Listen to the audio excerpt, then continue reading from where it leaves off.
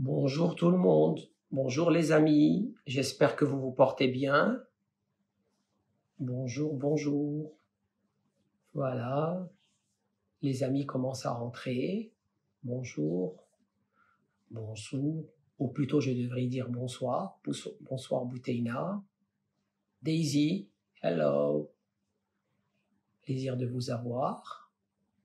Voilà. Donc, je vois que le groupe est en train de se constituer. J'espère que vous allez bien avec cette euh, chaleur. Sad, pas évident. Faites attention, buvez beaucoup d'eau. Euh, faites attention au soleil. C'est bien de prendre l'air, c'est bien de sortir.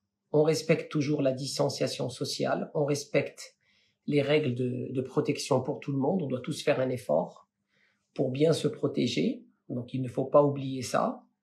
Euh, le confinement est d'une certaine façon encore là. Donc il faut qu'on se protège et, euh, et qu'on profite de la vie, sortir, voir les amis, mais respecter certaines règles de, de protection, surtout pour nos, nos aînés, nos parents, nos grands-parents, nos grands-oncles, et euh, pour vraiment les, les, protéger et leurs biens. Euh, Daisy, toujours un plaisir d'être parmi vous. Salut Fatih. Voilà. Fait pas très chaud, c'est supportable, me dit Samar, oui, mais je sais qu'ici à Casa, c'est pas évident. Voilà. Donc, euh, ce soir, on a un, Q&A.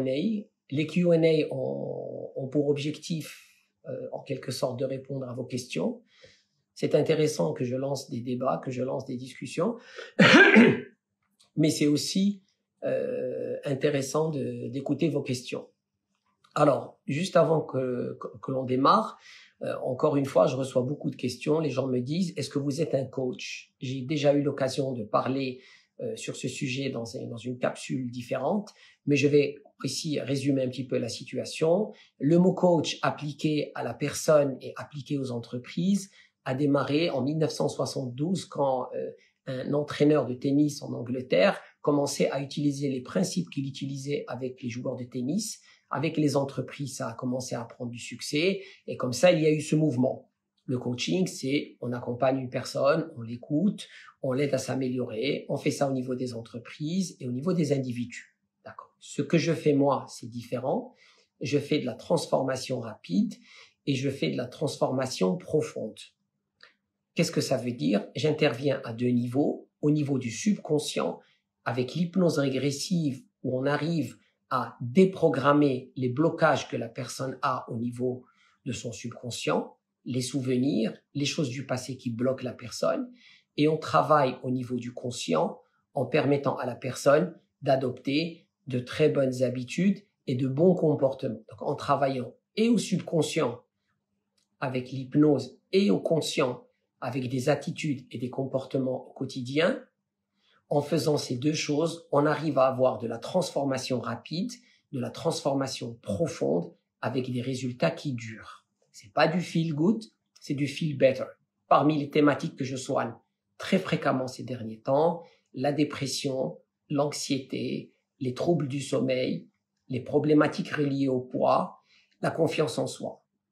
j'ai aussi l'occasion souvent d'intervenir avec les enfants, même à partir de l'âge de 7-8 ans. Et surtout, surtout, j'ai beaucoup de demandes d'accompagnement pour les adolescents et les adolescentes. C'est un âge très difficile il faut prendre au sérieux les comportements des adolescents. Un adolescent qui se renferme sur lui et qui, en quelque sorte, ne veut pas trop communiquer, c'est des choses qu'il faut prendre au sérieux. Voilà.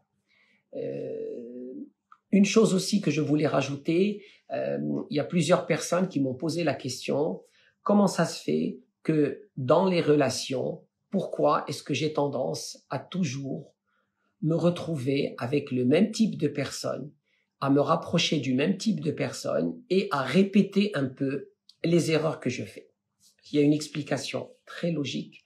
L'être humain donnerait n'importe quoi pour répéter ce qui est familier. Il préfère retrouver un environnement familier parce que ça le rassure et ça le conforte. Il reste un petit peu dans sa zone de confort. Donc, qu'est-ce que font certaines personnes? Elles cherchent toujours le même type de personnalité en quelque sorte, elles sortent avec ce genre de personnes, elles ont des relations profondes et sérieuses avec ce genre de personnes, même si ces relations leur font du mal. Et pourquoi elles répètent encore une fois ce scénario?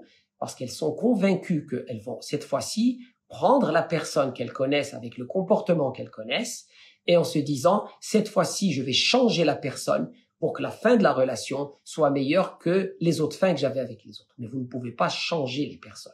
Vous pouvez travailler sur vous-même, vous pouvez vous améliorer, mais vous ne pouvez pas passer votre temps à vouloir changer les autres. Donc ça, c'est quelque chose que je voulais partager avec vous sur les relations et c'est quelque chose de très important.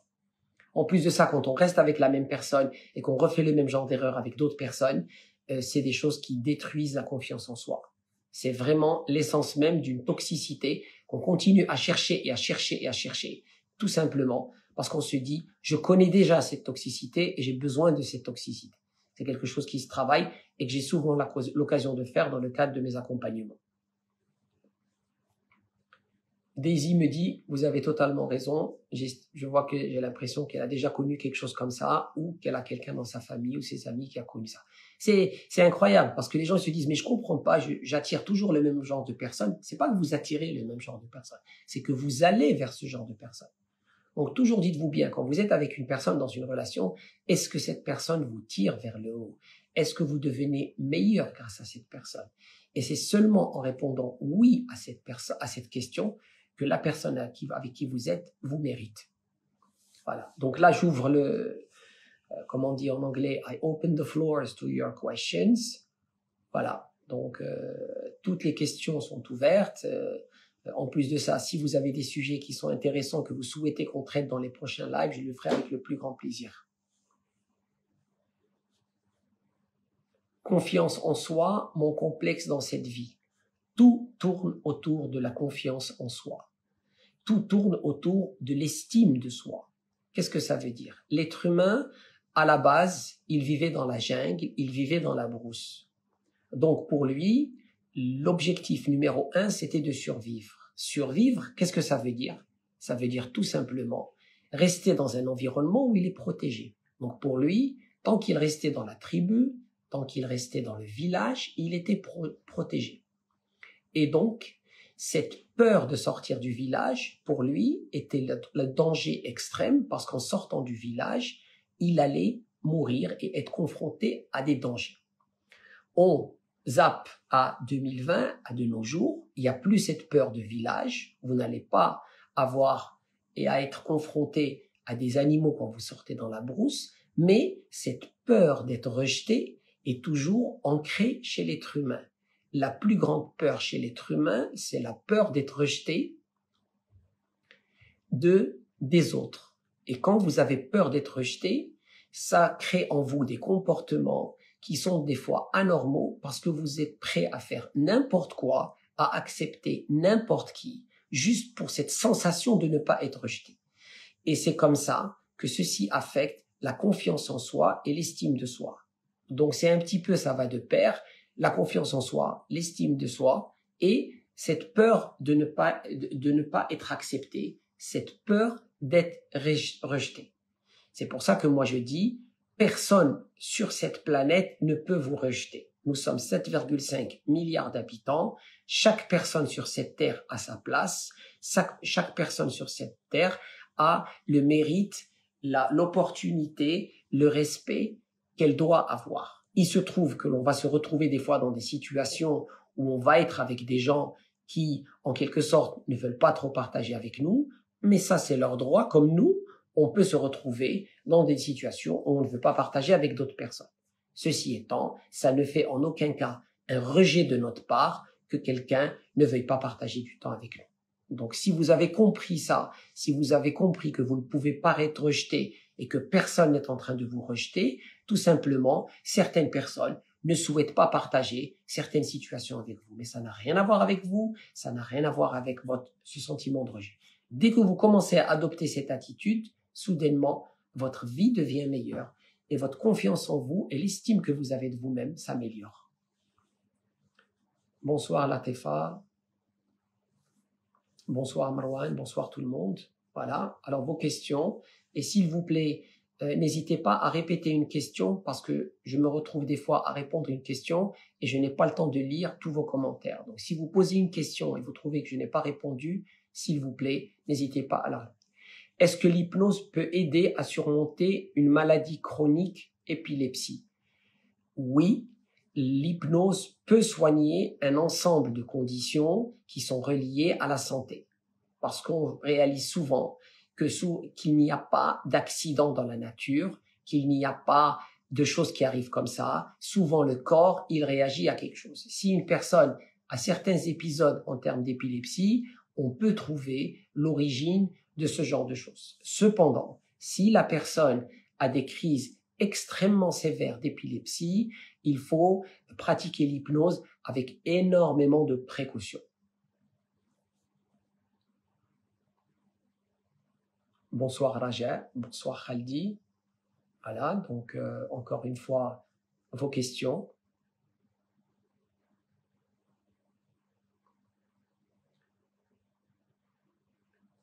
Latifa partage avec nous sa recette miracle de l'insomnie. Beaucoup de pardon, elle demande quelle est la recette miracle de l'insomnie? Beaucoup de jeunes en souffrent. Beaucoup de jeunes en souffrent parce qu'ils tout simplement euh, bousillent leur programme. Que vous le vouliez ou non, nous avons un rythme, une horloge circadienne à l'intérieur de notre corps. C'est une horloge qui régule notre vie avec les hormones et donc, on est programmé pour dormir quand il fait sombre et se réveiller quand il fait jour. Donc ça, c'est comme ça que l'on est programmé. C'est-à-dire que les heures de sommeil entre 11 heures et 4 heures du matin sont des heures cruciales. Donc, il faut éviter au maximum de prendre l'habitude de commencer à dormir au niveau à, les gens qui restent très tard, 4 heures, 5 heures du matin, je sais que beaucoup de parents en souffrent. Moi aussi, j'en souffre avec mon fils qui dort très tard. C'est souvent difficile durant les vacances d'essayer de, maintenir un rythme, je dirais, équilibré. Mais ce qui est important, dès que l'école reprend, reprend, dès que les cours reprennent, euh, c'est très important dans, euh, de, de, pouvoir retrouver un rythme normal. Et surtout, ce qui peut vous aider pour l'insomnie, c'est de, euh, de pouvoir euh, en quelque sorte, avoir des heures régulières. Les gens qui ont un très bon sommeil sont les gens qui dorment toujours à la même heure et qui se réveillent à la même heure. Euh, le corps est un, est un système d'habitudes. Plus vous lui donnez des habitudes, plus c'est facile pour lui de fonctionner. Euh, croyez-vous toujours en la loi de l'attraction? Je crois en la loi de l'attraction. c'est quelque chose qui existe. Alors, en 30 secondes, je vais essayer de vous expliquer un peu la loi de l'attraction. Vous avez peut-être entendu du film et du livre Le Secret, vous avez vu des vidéos sur YouTube. J'aurai l'occasion de le faire et je vous montrerai exactement comment ça fonctionne, comment l'utiliser. La loi de l'attraction, ça ne veut pas dire je pense à l'argent et l'argent arrive, je pense au bonheur et il arrive. C'est oui, dans un sens, c'est quelque chose comme ça, mais ce n'est pas si simple. Le principe est le suivant, la loi de l'attraction est dérivée d'un ensemble de, principes qui ont été écrits par un, savant, il y en a qui disent que c'est un prophète, il y en a qui disent que c'est un savant, qui s'appelle Hermès, qui l'a écrit a 3500 ans. Et parmi les principes qu'il disait, en anglais, c'était l'expression so below as above, et il disait aussi we are all energy, we are all vibration, c'est-à-dire tout ce qu'on dit, tout ce qu'on pense, c'est des vibrations. Si on ramène ça aujourd'hui à la science, l'idée que vous avez dans votre tête, vous pensez à quelque chose, cette idée, c'est une énergie qui vibre à une certaine fréquence. C'est en quelque sorte une onde électromagnétique, cette idée que vous avez dans la tête. Et, en quelque sorte, quand vous pensez à quelque chose, vous émettez une onde électromagnétique, c'est votre pensée, et cette pensée, c'est-à-dire l'onde électromagnétique, se balade dans l'espace comme dans l'espace, vous avez les ondes électromagnétiques de la radio, de la télé, des satellites et des téléphones.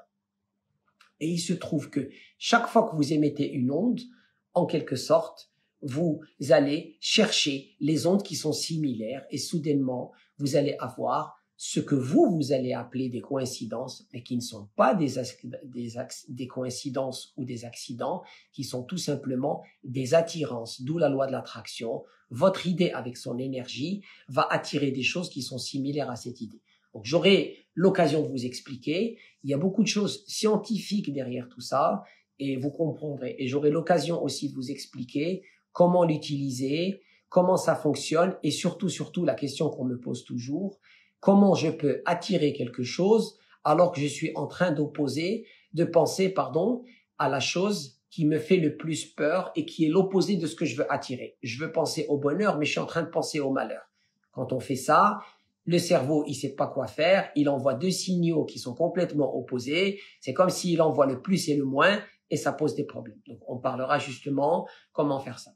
Mais ce qui est intéressant euh, de, garder ce soir pour notre sujet et, à, notre, à, la réponse, la question rapide sur la loi de l'attraction, c'est toujours vous dire quand quelque chose n'arrive pas, c'est qu'elle fait la place, qu'elle laisse la place à quelque chose de meilleur qui va arriver. Vous voulez vous engager dans une relation, vous voyez que cette relation ne marche pas, vous voulez un travail, vous voyez que ce travail ne marche pas. Souvent, il faut avoir cette aisance, le fait d'être confortable, d'être à l'aise avec soi-même, avec la nature et avec son environnement, et de se dire tout simplement, si cette chose n'arrive pas, ça veut dire tout simplement qu'il y a quelque chose qui est en train de me dire qu'il vaut mieux que cette chose n'arrive pas, parce qu'elle est en train de laisser la place à quelque chose de meilleur qui va arriver. Et c'est pour ça que je vous dis, croyez toujours en les bonnes choses, ayez toujours foi en vous, foi en l'avenir, foi en l'énergie qui est autour de vous et qui va vous permettre d'accomplir des choses extraordinaires dans votre vie. Ok, donc merci d'avoir posé cette question et je suis sûr que les participants ce soir vont apprécier euh, ce partage et cet échange. Ok. Raja, great mindset, absolument, absolument. Euh, en ayant cette approche, vous vous ouvrez parce que ça aussi, on le verra quand on fera la loi de l'attraction. Beaucoup de gens, euh, en quelque sorte, alors on me pose une question, euh, pouvez-vous ne, pas abandonner dans la vie? Je vais y revenir. Euh, en quelque sorte, pour revenir à, à la loi de l'attraction, quand vous comprenez cette force, quand vous comprenez cette capacité à pouvoir attirer, vous commencez à créer votre réalité. Et là, les choses deviennent vraiment intéressantes. Nous sommes beaucoup plus puissants que nous le pensons. Nous sommes beaucoup plus forts parce que à la base, et je l'ai déjà dit ça plusieurs fois, nous sommes des êtres spirituels qui avons une expérience physique. À l'intérieur de nous-mêmes, il y a une énergie, il y a des idées, il y a des choses extraordinaires. Euh, nous nous prenons la tête pour beaucoup de choses dans la vie, absolument, absolument. Euh, il y a un livre qui avait été écrit qui s'appelle The Five Regrets of the Dying. Il y avait un, chercheur américain qui avait interviewé euh, des gens en fin de vie, des gens qui étaient à, quelques mois de mourir, et il leur avait posé la question euh, quels sont les cinq regrets que vous avez dans votre vie? Et euh, la chose qui fait l'unanimité, l'idée qui faisait l'unanimité, c'était qu'est-ce que je me suis pris la tête? Voilà. Qu'est-ce que je me suis pris la tête? On se prend la tête pour beaucoup de choses parce que l'on veut tout contrôler, tout maîtriser, on veut toujours que tout se passe exactement comme on le pense, alors que on pourrait faire des choses extraordinaires. Si seulement on arrêtait d'être focalisé sur nous-mêmes et voir les opportunités autour de nous. Euh, on me demande est-ce que je fais des séminaires par thème Oui, euh, à partir de la rentrée, euh, je vais commencer à organiser des, des, séminaires en live sur des groupes. On pourra le faire sur Zoom ou sur une autre plateforme.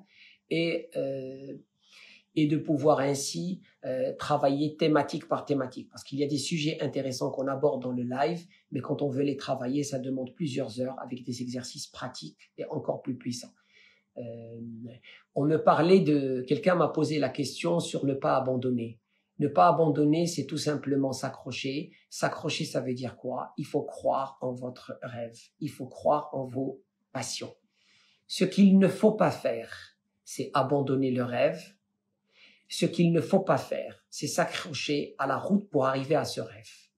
C'est-à-dire, vous voulez accomplir quelque chose, vous avez un objectif devant vous, il ne faut jamais perdre de vue l'objectif et il ne faut jamais abandonner pour arriver à cet objectif. L'erreur que font les gens, c'est qu'ils se disent que je vais le faire comme ça et que pour y arriver, voici la route que je vais prendre. Alors que souvent, la route qu'ils veulent prendre est difficile. Ensuite, la deuxième est difficile. Donc, il faut accepter qu'il va y avoir une route que vous allez prendre qui n'était pas du tout prévu et ça va être la meilleure route pour vous. Donc, c'est cette flexibilité. D'un côté, il faut être extrêmement focalisé sur l'objectif et la finalité, mais d'un autre côté, il faut avoir une souplesse et une flexibilité énorme. Moi, dans pas mal de projets que j'avais démarré, dans des sociétés que j'avais commencé, souvent j'étais convaincu que l'objectif, il était très clair, j'étais convaincu que c'était comme ça qu'il fallait faire, mais j'ai compris que souvent je devais changer mon approche et ma méthode. D'ailleurs, une de mes phrases préférées, euh, c'est une phrase que j'ai que j'ai écrite, que j'ai dans mon bureau. Euh, c'est de Hannibal le Conquérant en, Tunisie, il y a de ça plus de 700-800 ans, qui disait en anglais We will either find a way or we will make one.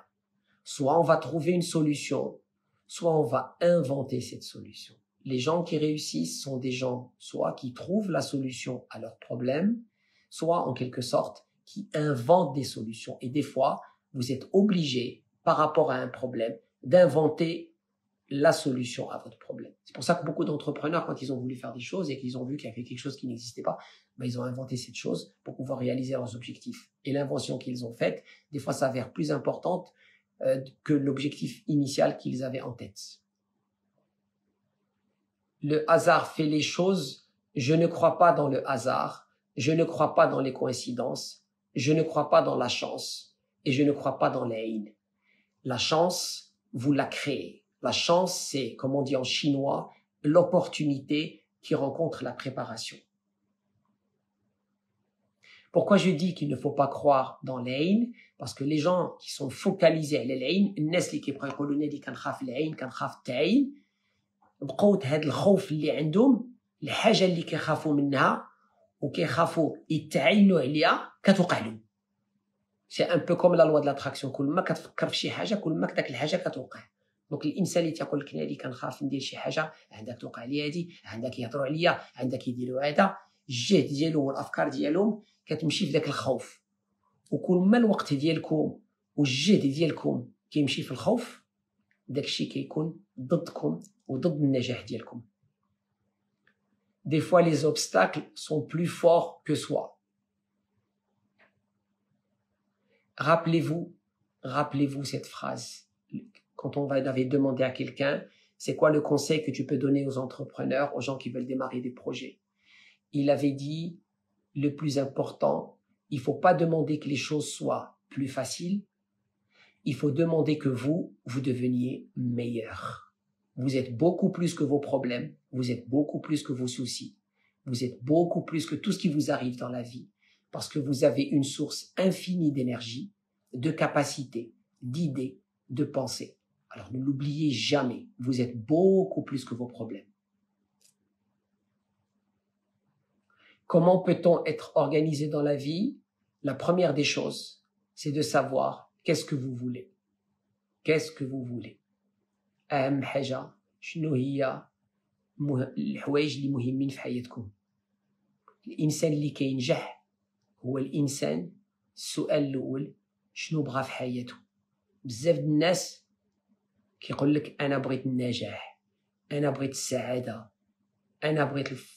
نكون نفرح.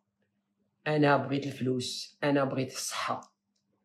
ولكن سي تيلمون فاك داكشي كبير. حتى هما مع راسهم ملي كتقول له تخي بيان أنت باغي الفلوس؟ شحال الفلوس آه أنت باغي تنجح؟ شنو النجاح؟ كيفاش بغيتي الدماغ ديالك يساعدك تجبر شي حاجة؟ الوغ كو أنت ما عارف شنو هي داك الحاجة. أنا نعطيكم ان اكزرسيس تري سامبل شدوا عينيكم دابا. شدوا عينيكم واحد الدقيقة. واخا. حلوا عينيكم وشوفوا أي حاجة اللي عندها اللون بيض فين جالسين. أوكي. شدوا عينيكم. حلوا عينيكم. شوفوا أي حاجة اللي اللون ديالها خضر دونك شنو كتشوفوا؟ بأن فين ما درتي لاتونسيون ديالك لينيرجي كتمشي بغيتي تنجح في الحياه اول اولا كن مأكد شنو هي الحاجة بالضبط اللي بغيتي plus c'est précis plus c'est facile d'obtenir la chose euh, l'argent l'argent domine-t-il notre vie euh, Il faut de l'argent. L'argent est un outil. C'est un outil pour payer.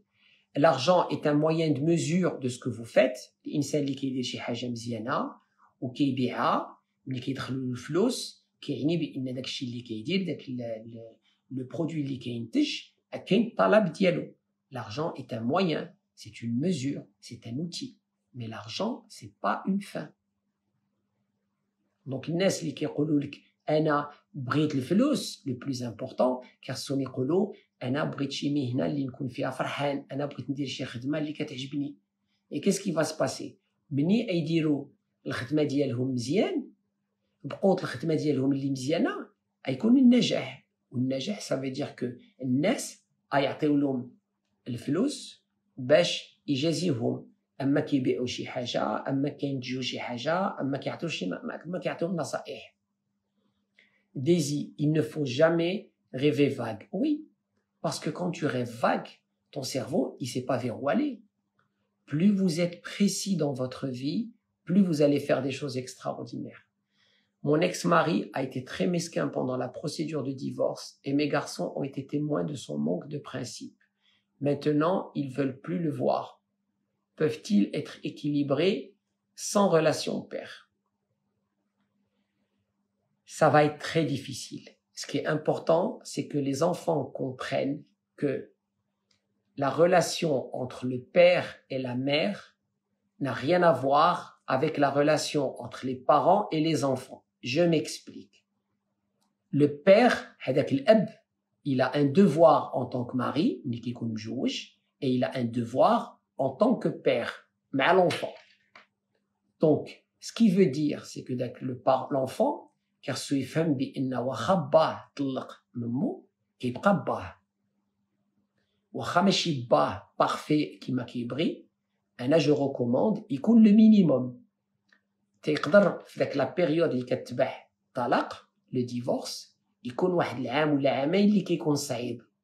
ولكن اللي ننصح هو il faut garder un minimum de contact avec le père ne serait-ce que par téléphone, par WhatsApp vidéo, mais il faut maintenir un minimum de contact. C'est important. Daisy, j'ai un problème au boulot, je n'ose jamais demander mes droits en travail, même pour l'augmentation du salaire et mes congés. Je n'évolue jamais. Comment je peux le faire? Euh, Quand on a un travail, et il faut de temps en temps faire le point avec les supérieurs ton directeur, ta directrice, ton patron, ta patronne, c'est important glisser au moins une fois par an où tu amènes le point. Quand tu vas faire le point, c'est très important, et ça je le vois, c'est très important encore une fois, de ne pas rentrer avec l'idée que tu vas demander des choses. Il faut que tu passes le point et tu dises voilà, quelles sont les choses que je fais bien au travail? Comment je peux m'améliorer? Je souhaite. Donc il faut que tu dises, Anna, je suis prête à faire des choses, mais je demande aussi à recevoir. Ça doit être une relation dans les deux sens. Il faut pas avoir peur de demander comment tu peux t'améliorer. Et il ne faut pas avoir peur de dire voilà, c'est important pour moi d'avoir cette rémunération. Ce qui n'est pas bien, c'est les gens qui demandent quelque chose alors qu'ils ne font rien en contrepartie. Avec plaisir pour le conseil. Comment vivre de manière épanouie lorsque le père est un pervers narcissique? Euh, ton père, c'est ton père. Tu peux pas le changer. Prends ce que tu peux de lui. Voilà. كل واحد فينا بعد النوبات تيكون عنده ان بارون تيقول لك انا ما نكرهش الوالد يكون هكا انا ما نكرهش الوالده تكون هكا من بعد النوبات ما عندكش الاختيار le plus important خذ ce que tu peux fais ce que tu peux et partage l'erreur c'est de croire que tu peux changer ton père الانسان اللي كيفكر بان يمكن له يبدل البا ولا يبدل المو سي با بوسيبل ton père il est là اعطيه الاحترام اعطيه الوقت et partage اللي جا كله مزيان Comment détecter et aider une personne narcissique C'est tout simplement, quand vous êtes avec ce genre de personne, il faut voir, est-ce que cette personne narcissique, elle veut partager, elle veut échanger, mais n'essayez pas n'essayez pas de vouloir changer les gens. C'est une grave erreur de croire que ah, a, la personne, la personne, jamais de la vie. Euh, S'il y a quelque chose qui va pas, vous parlez, vous communiquez, vous communiquez, mais il y a un moment, il y en a qui veulent pas changer. Moi, je le vois dans mon travail, il y a beaucoup de gens qui veulent pas changer. Ils te disent, moi, je suis comme ça, je vais rester comme ça. Alors, s'ils sont comme ça, mais qu'ils assument les conséquences de leurs actes. OK.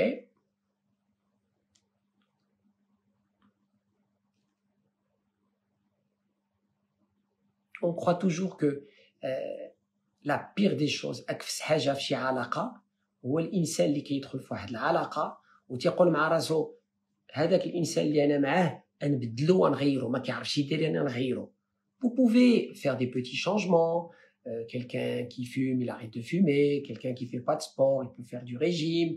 Euh, quelqu'un qui est un peu fainéant il va pouvoir se bouger un peu. Mais il y a des traits de caractère de la personne qui sont à l'intérieur des programmes d'origine.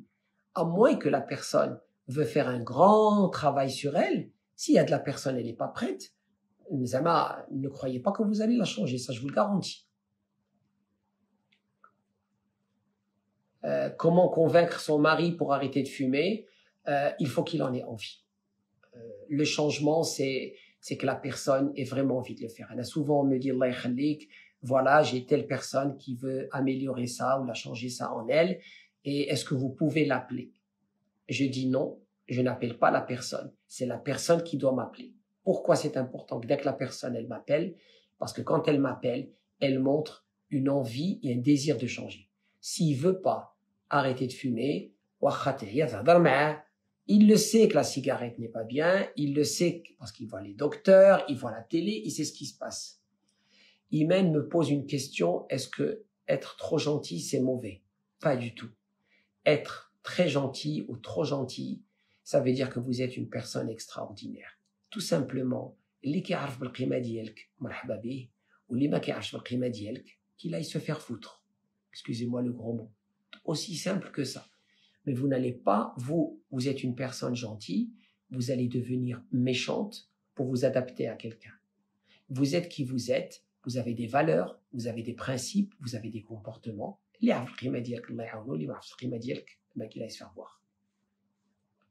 Comment booster sa confiance en soi Imen, n'oubliez jamais que vous êtes une personne extraordinaire, que quoi qu'il arrive, quels que soient les problèmes que vous avez, quel que soit ce qui se passe dans votre vie, que vous soyez seul, que vous soyez accompagné, que votre carrière soit au top, que vous ayez des kilos en plus, des kilos en moins, votre estime de vous et votre confiance en vous ne doit avoir aucune condition. Je suis une personne exceptionnelle, je suis une personne extraordinaire. Et avec ça, quoi qu'il arrive, je garde ma confiance en moi. Il fume devant les enfants et on s'embrouille pour ça tout le temps. Chauffe. Il fume, tu n'y peux rien. Voilà. C'est euh, des fois on peut pas malheureusement euh, forcer les gens à adopter des comportements. Même si vous lui donnez le médicament, les patchs de nicotine, il va pas le prendre. Même s'il vient chez moi et je lui fais une séance d'hypnose pour arrêter de fumer, il va s'en foutre de la séance. S'il ne veut pas arrêter, c'est très très difficile. Quelqu'un qui ne veut pas arrêter quelque chose, vous ne pouvez pas le forcer. Est-ce que vous êtes pour ou contre le fait de relancer un recruteur après un entretien? Rien n'empêche, après l'entretien, d'envoyer un petit message. Euh, vous avez fait l'entretien, vous n'avez pas obtenu de réponse. Euh, je peux, moi, ce que je fais, ce que je recommande et ce que je faisais quand je cherchais du travail, vous envoyez un petit message, un email, pas de téléphone ou de WhatsApp, de préférence un email parce qu'un email c'est très respectueux, voilà. Euh, je tenais à vous dire que j'ai fortement apprécié l'entretien qu'on a eu ensemble. Je reste à votre disposition si vous avez besoin de plus d'éléments et je me serai, je serai très heureuse de pouvoir faire partie de votre équipe et contribuer, contribuer au développement de votre entreprise. Un petit email comme ça, c'est très sympa. Imen, si je peux me permettre, aime-toi avant tout et tout vient. Absolument. Comment une personne peut attirer le bonheur vers elle si elle ne s'aime pas? Si elle ne s'aime pas, elle est en train de s'envoyer un message à elle-même qu'elle ne mérite pas le bonheur. Quelqu'un, et on va voir ça quand on fera la loi de l'attraction, quelqu'un qui estime qu'il ne mérite pas le bonheur, comment vous voulez que le bonheur vienne à lui?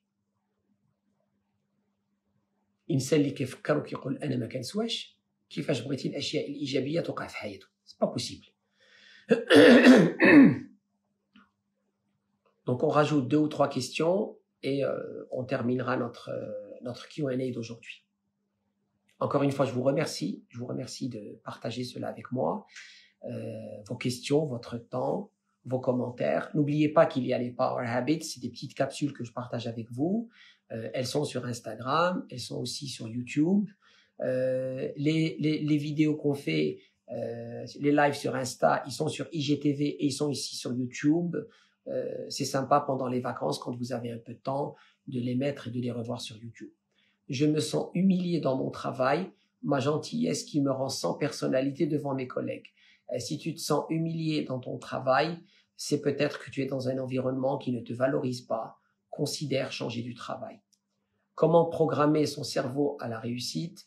La première des choses, c'est d'abord accepter l'idée de se dire que je mérite la réussite. Et c'est quand je travaille la confiance en soi, c'est la première des choses. Je reprogramme le cerveau de la personne à ce qu'il commence à s'accepter, à intégrer, à être à l'aise avec l'idée de la réussite. Vous serez surpris qu'en quelque sorte, euh, en quelque sorte, le nombre de personnes qui, au fond d'eux-mêmes, ne sont pas convaincus qu'ils méritent le bonheur ou la réussite. C'est ce qu'on appelle le syndrome de l'imposteur. Les gens qui croient que leur réussite ou leur bonheur, si ça arrive un jour, ça sera un accident, mais ça ne sera jamais dû à leur travail ou à leurs compétences. Alors qu'au fond, c'est des gens compétents et valables. Et quels sont les critères pour vous qui sont importants pour un recruteur? Ça, c'est une très très bonne question. L'erreur que font les gens, et je le vois même moi quand je recrute, et ma collaboratrice Fatine, si elle était là, elle partagerait ça avec vous, euh, c'est que quand quelqu'un se présente dans une entrevue pour un travail, il vous dit en quelque sorte le message, euh, il vous dit, voilà, un j'ai fait des études, hawa CV d'Ali, un je suis bac plus 3, bac plus 4, bac plus 5, donc un akret, un admirt, tu dois me donner du travail, tu dois me payer, tu dois ci, tu dois ça. Donc l'insan, مازال ما بدا الخدمة il n'a même pas encore mis le pied dans la société et il commence à donner des conditions. Ça, c'est la pire des choses. Deuxième erreur que font les gens, c'est qu'ils commencent avec des conditions.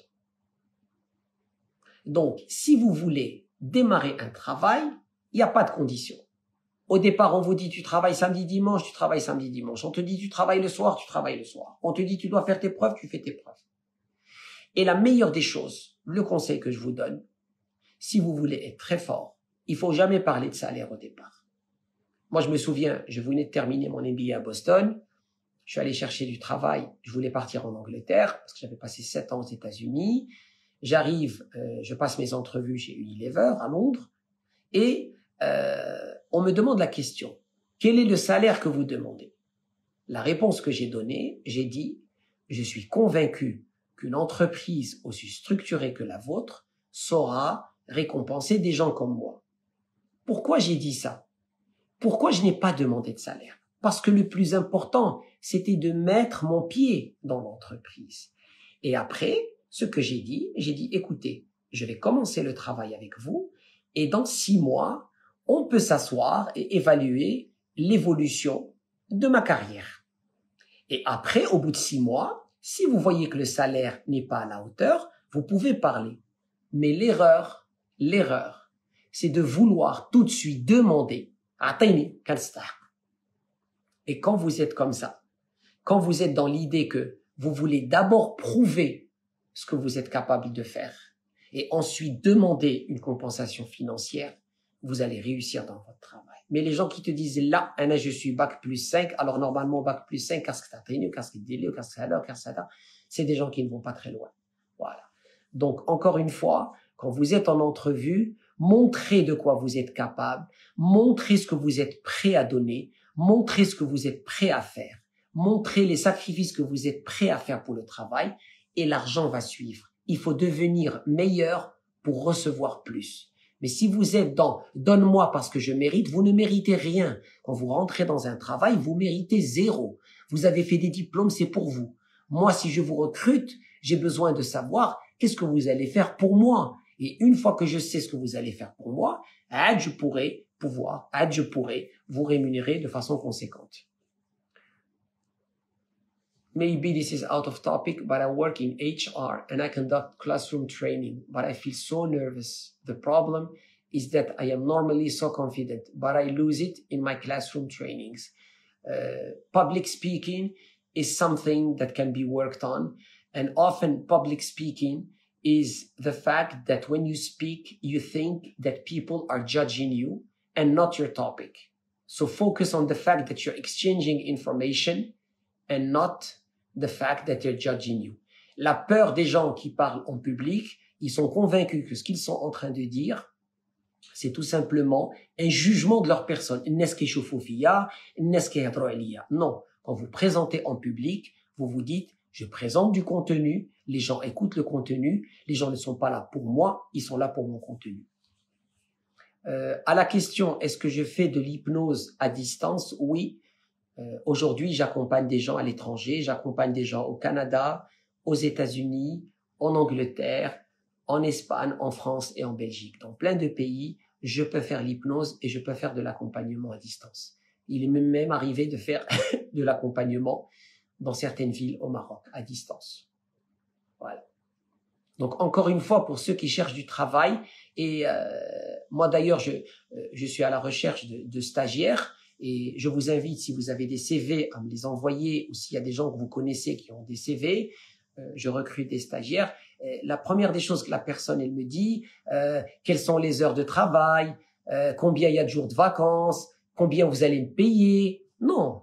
Ce que l'on dit quand on pose les questions, quel est le travail, qu'est-ce que vous attendez de moi, comment je peux construire, comment je peux aller de l'avant, comment je peux vous aider. Soyez toujours dans ce que vous êtes prêt à donner avant de demander. Euh, je vous rappelle que euh, aujourd'hui le Q&A, ça sera euh, le, dernier live parce que la semaine prochaine il y a les vacances qui commencent et les Eid. Je reviendrai vers vous après les Eid. je vous informe aussi que à la rentrée, on va commencer à faire des groupes de travail sur Facebook pour des séminaires bien ciblés. Donc on aura des groupes avec lesquels on va travailler, on va rentrer en profondeur dans les thématiques que l'on aborde souvent. Et là, on pourra faire du travail individuel sur chaque membre. On essaye d'avoir des petits groupes et je communiquerai avec vous euh, sur ces éléments-là. Euh, encore une fois, euh, n'oubliez jamais que, je l'ai dit la dernière fois dans, une citation que j'avais postée, la qualité de votre vie, je ne le dirai jamais s'il y a quelque chose que je vous demande de retenir. La qualité de votre vie, c'est la qualité de vos standards. N'acceptez pas la médiocrité dans votre vie. Eid Mubarak Saïd, merci à toi, merci à tout le monde. Euh, je sais que ça va être un Eid très particulier avec ce Covid, mais le plus important, c'est d'appeler la famille, d'appeler les gens que vous avez. Euh, une autre façon d'apprécier la vie, c'est d'être en mode gratitude, de ne jamais oublier les gens que vous avez autour de vous. Et si on a une chose qui est magnifique dans ce pays, au Maroc, c'est le tissu familial et social. Prenez la peine d'appeler les amis, d'appeler la famille, d'appeler les gens qui vous sont proches. C'est une chance extraordinaire. Voilà. Euh, quel profil vous cherchez pour vos stagiaires? Euh, Je cherche une, je cherche, nous cherchons deux à trois personnes pour le développement de l'entreprise. Euh, des stages de un mois, trois mois, cinq mois. Euh, ça peut être des stages pré-embauche, ça peut être des stages dans le cadre de validation de vos études. Ça me ferait très plaisir d'avoir des gens de ce groupe. Euh, alors, le profil que je recherche, c'est une bonne tête. Ça veut dire, quoi, une bonne tête? Ça veut dire une personne qui pense bien, qui est ambitieuse et qui veut aller de l'avant. Voilà. Et en quelque sorte, c'est ça ce qui est important. En anglais, on dit you hire on attitude, not on skills. Vous ne recrutez jamais les compétences, vous recrutez la personnalité. Une personne qui est ambitieuse, quelqu'un qui a de l'ambition, quelqu'un qui a de l'énergie, quelqu'un qui est positif, quelqu'un qui va de l'avant, positive vibes, comme dit Daisy, ça c'est un bon caractère, c'est un bon profil. Comment demander une augmentation de salaire? Il faut vous assurer que derrière cette augmentation de salaire, il y a de la réalisation et du travail. Ne demandez jamais une augmentation de salaire sur la base de l'ancienneté. Parce que l'ancienneté n'est pas une justification d'augmentation de salaire. Je vous donne un salaire, vous faites un travail. Le temps passe, les années passent. Au bout d'un moment, si vous demandez une augmentation, c'est tout simplement parce que vous êtes prêt ou prête à faire beaucoup plus et à donner beaucoup plus. Il faut pas, il faut pas garder cette mentalité archaïque que on va vous payer pour l'ancienneté et on va vous payer pour le passé. Votre employeur, la chose la plus importante, c'est de savoir que la personne qu'il a en face de lui, elle va constamment apporter des choses dans l'avenir. Donc il vous paye et il vous augmente principalement pour le potentiel pour l'avenir.